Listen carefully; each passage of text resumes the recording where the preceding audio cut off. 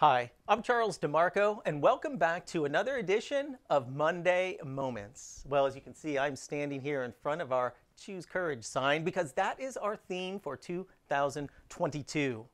And when we talk about choosing courage, we're talking about all of those that we serve within our ministry, the courage that they demonstrate and reflect, whether it's in our More to Life student ministry as they make choices for standing against the culture and society norms today, whether it's the individuals we serve in our four medical clinics as they walk through our doors and choose courage every single day, or maybe those that have walked through the pain of an abortion, speaking up, finding that healing, forgiveness, and restoration.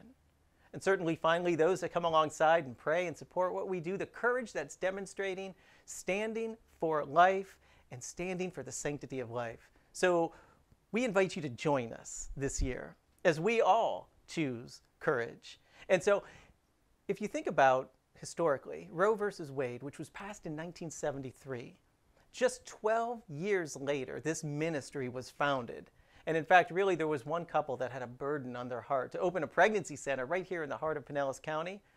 And from that one couple's burden on their heart, how the Lord led them, that ministry has grown to what it is today to where we have seen over 10,000 babies saved and rescued from abortion. We have seen over 9,000 professions of faith. So when we talk about choosing courage, and what a wonderful example we saw from the founders of this ministry.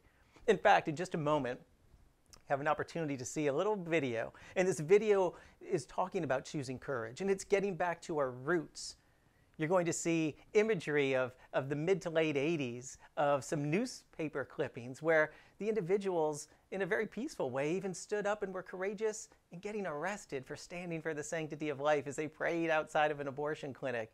And this is how far we've come today as a ministry, and we've grown, but it all started there.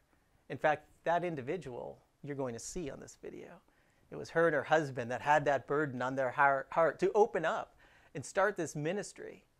And again, choosing courage throughout all of our ministry. So we invite you again in 2022 to choose courage with us.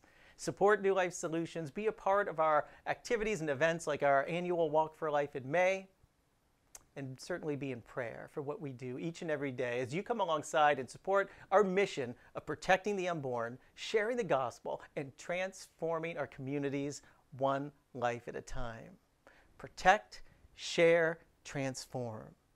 Thank you for choosing courage with us. God bless you and enjoy this video.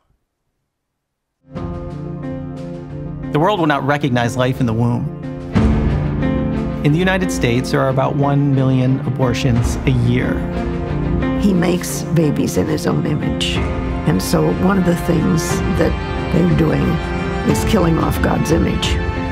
This is spiritual warfare.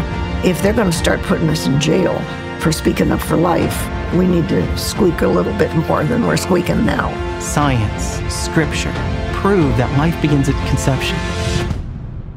Our mission at New Life Solutions is to protect the unborn, share the gospel, and transform our communities one life at a time.